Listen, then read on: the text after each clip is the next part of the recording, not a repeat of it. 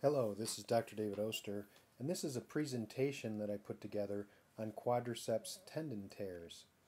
Quadriceps tendon tears usually occur in patients who are between 40 and 60 years old.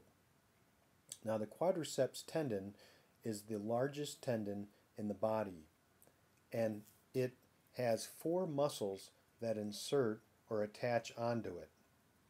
Quadriceps tendon is highlighted here in yellow. And again, it's the largest tendon in the body. And there are four muscles that insert or attach onto this tendon. There is the vastus lateralis that's outlined here in blue.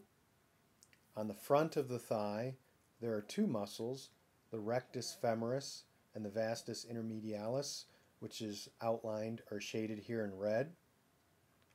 And then there's the vastus medialis, which is shaded here in green. And all four of these muscles attach onto the quadriceps tendon. And the quadriceps tendon then attaches to the patella, which is shaded here in black. Now, when these muscles contract, it pulls on the patella, and that's what helps straighten your knee out. Now, these tears usually occur when there's a large force applied to the knee. So if a person steps down from a stair or jumps down from something or pushes off to try to step up, that's usually when these tears occur. And the tears occur just proximal or just above the patella and usually involve the entire tendon as well as the retinaculum, which is the tissue on each side of the tendon.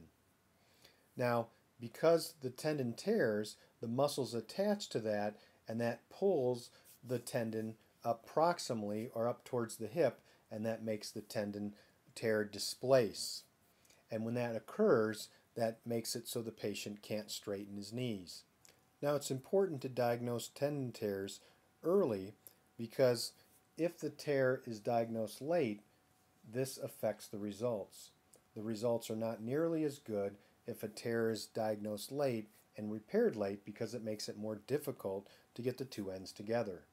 Now here is a tear in a patient on the right hand side, the patella is on the left, and the tear is located right where my finger is pushing just above the kneecap, and there should not be that indentation.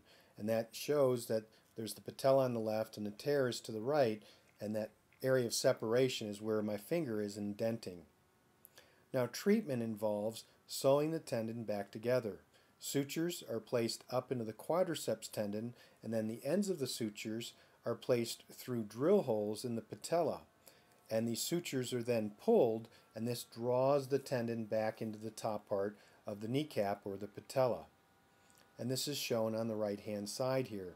The quadriceps tendon is on the left, the patella is on the right, and the tear is located in the middle, and those arrows show the gap between the patella and the quadriceps tendon. Now those sutures are placed on the left hand side through the quadriceps tendon and on the right hand side they're placed through drill holes in the patella. Now when these sutures are pulled through the patella this draws the quadriceps tendon, the edge of the quadriceps tendon is shown by those arrows and when these sutures are pulled that pulls the quadriceps tendon back down to the upper portion of the patella and this is a patient after the quad tendon has been repaired. The tendon's on the left hand side, the patella's on the right, and the tear is where the black line used to be. And those sutures are located where the tendon was repaired and where the sutures were used to brought the tendon tear back together. Postoperatively, a brace is applied to the leg and flexion or bend is limited and I usually start at about 0 to 30 degrees. Most of the time, weight bearing is allowed with crutches, and by approximately 4 to 6 weeks, the crutches are discontinued. However, the patient continues to use their brace. As healing occurs, the amount of bend is gradually increased, and by 8 to 10 weeks, usually full range motion is obtained.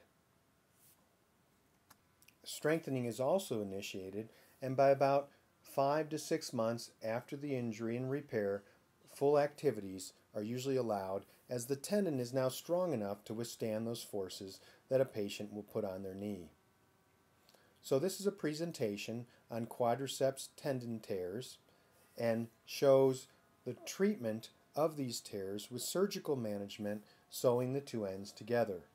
If you have other questions or would like to look at other text or video, please visit my website, davidostermd.com, for an appointment 303 214 4500. Thank you.